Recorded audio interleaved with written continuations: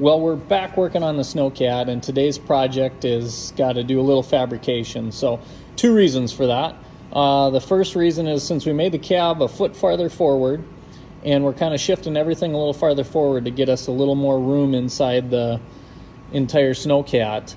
Uh, we've got two problems. Uh, one is the shifter is now kind of it's going to be back behind your elbow for shifting, so that's not going to be very conducive. The other reason is you can see the doghouse now is about four inches taller. That gives our engine a little more breathing room, a little more space to work.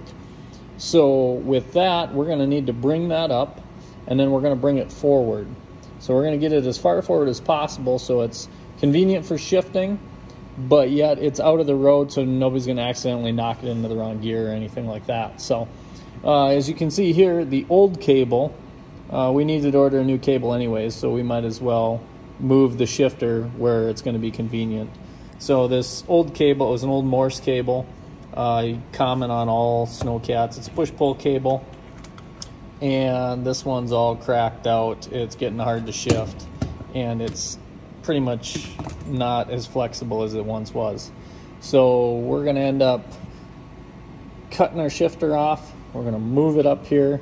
We're going to fab it in place um, we might actually go with a bolt-on option. If we can make it rigid enough, we're going to bolt it to the tub, and then we're going to bolt it to, to this radiator bracket here.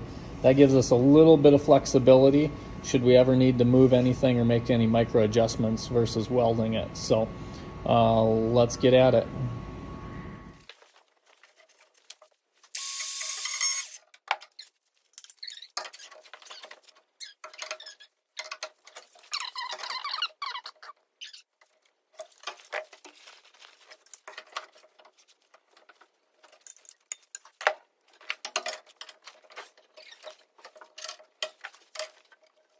The next exciting thing is I got a package today from California that I've been waiting on. Well, I haven't been waiting on this package uh, only a week. It was awesome. These guys are fast. Uh, but what I have been waiting on is my shift cable.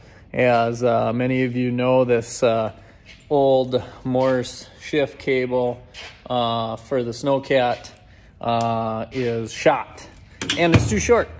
Uh, since we moved the control tower uh, like 16 inches ahead, uh, our shift cable is way too short. So uh, it's been a month and a half uh, that I ordered the original shift cable. And then uh, they only got it shipped. It got lost by FedEx, so thanks.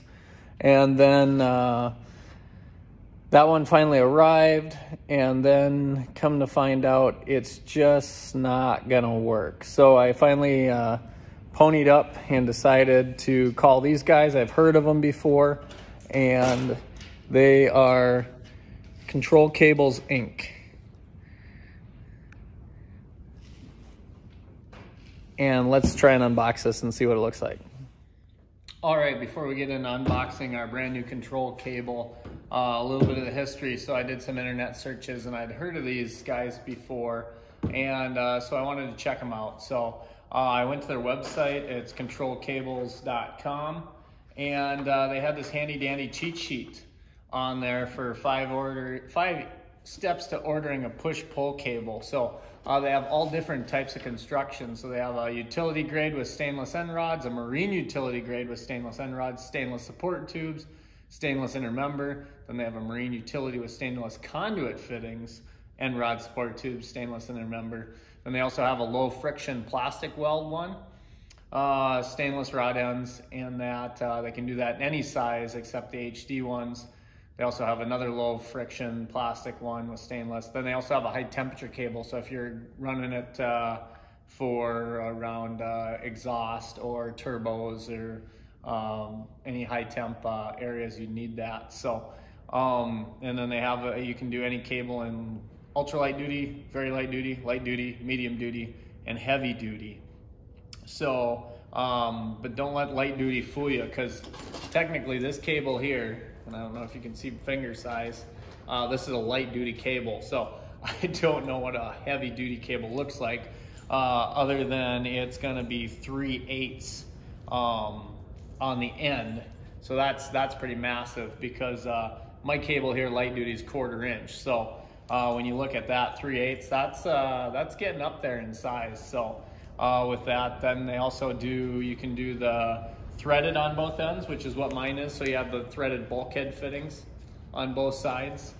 Uh, otherwise, you can do the grooved uh, end fittings. So they have a clip on them that holds them in place. You'll see that on a lot of transmissions, uh, that style, or you can do threaded and grooved. So any combination therein. So, I mean, they just have this handy uh, guide to go through, uh, and then you can measure off uh, your different thread lengths, your different uh, pitches, and that, so that when you need to, uh, for your new cable, you just thread your current end off, and as long as you ordered the right cable, um, you'll be able to thread this right on your new your new one. So uh, that was really nice having that. So um, I like to know the people behind the business, so I put a phone call in, and Ed answered the phone right away, and uh, I talked with him. He is super knowledgeable. I told him what I had, and uh, told him what I thought I'd need, which is going to be a uh, just a regular utility grade with the stainless rod ends,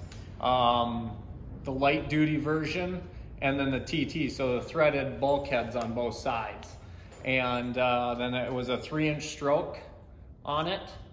That's what uh, it measures out as. And then I needed to upgrade it to 52 inches. And uh, he's like, by chance, are there any numbers on there? And I, after I got all the grime and the grease off, here it is here somewhere. Oh, let's see here. So dark here, there we go. It is a Morse 438 37 inch EG. So uh, as soon as I told Ed that, he said, yep, you got the right cable. He says, I know by the four code that it's this, I know by the eight code it's that, I know by the three it's this.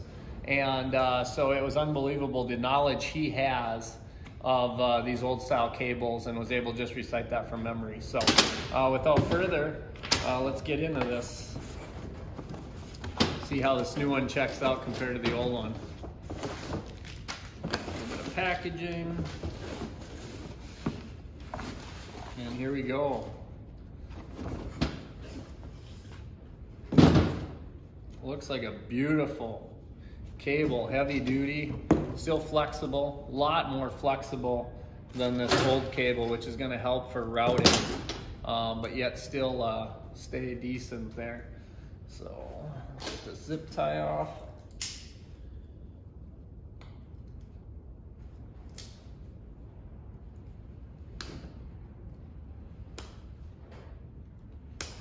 use high quality zip ties too.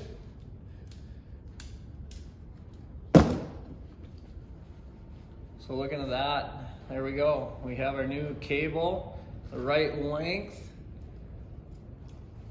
Check the, oh, that's smooth.